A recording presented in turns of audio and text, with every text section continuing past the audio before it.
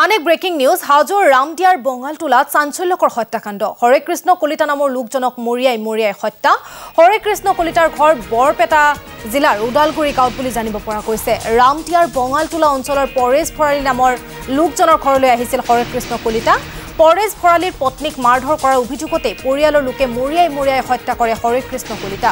লগতে কলিতাৰ স্কুটি বাহনখনো ভাঙি চুৰমাৰ কৰে। ইতিমধ্যে এই হত্যাকাণ্ড সংক্ৰান্তত হাজো আৰক্ষীয়ে পৰেশ ভৰালীসহ পৰিয়ালটোৰ পাঁচ অভিযুক্তক গ্ৰেপ্তাৰ কৰিছে।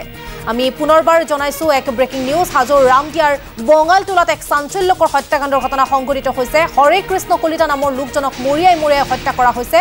হৰে কৃষ্ণ কলিতাৰ ঘৰ বৰপেটা জিলাৰ ওদালগুৰিত বুলিও জানিব পৰা গৈছে আৰু ৰামদিয়াৰ বঙালটোলা অঞ্চলৰ পৰেশ ভৰালী নামৰ লোকজনৰ ঘৰলৈ আহিছিল হৰে কৃষ্ণ কলিতা।